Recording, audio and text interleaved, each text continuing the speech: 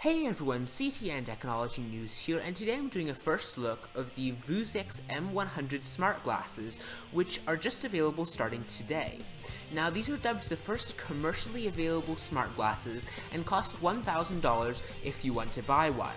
Described by Vuzix as a hands-free wearable computer, the device offers a monocular 16:9 full-color display that floats an image in or near your line of vision. Vuzix compares the image to that seen on a 4-inch display from a smartphone held about 14 inches away. The idea is to overlay information on the display as part of an augmented reality scenario. Outfitted with Android, the M100 comes with a 5 megapixel camera, Wi-Fi and Bluetooth connectivity, GPS, a built-in head tracker, a speaker for your ear, and a noise cancelling microphone. Pre-installed apps let you snap and view still photos and videos, update your calendar, and link to your phone. The device is also compatible with many existing Android apps. Anyone can pre-order the M100, but Vuzix seems to be aiming the device towards the professional market.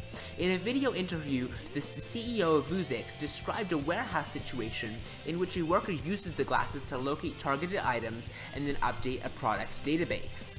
Now, in comparison to Google Glass, which costs $1,500 for developers and early adopters, this is kind of a good deal, especially while Google Glass isn't completely commercially available.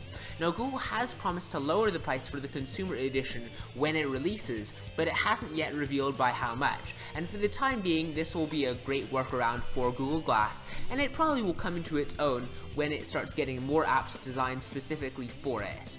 Let me know what you think of the Vuzix M100 in the comments below. Please be sure to like and subscribe if you enjoyed this video, and I will see you next time. Bye!